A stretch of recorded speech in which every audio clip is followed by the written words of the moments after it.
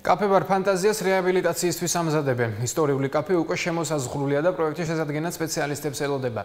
მანამდე კი მხატვარ რესტავრატორები ობიექტის მდგრადობას კიდევ ერთხელ შეისწავლიან. ისევე როგორც საპროექტო სამუშაოებს შემდგომ რეაბილიტაციასაც ფონდი ქართულ დააფინანსებს. ფონდმა აიღო ნებართვა ეგრეთ წოდებული რვაფეხას დროებითი ღობის შემოვლებისა და გადახურვისათვის.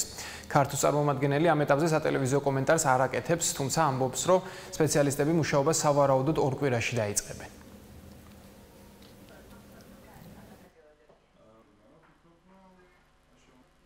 ვაფეხას ტერიტორია ამჟამად შეღობილია, მომზადებულია საპროექტო სამუშაოების წინას წინაკლებითი სამუშაოების შესაძლებლად.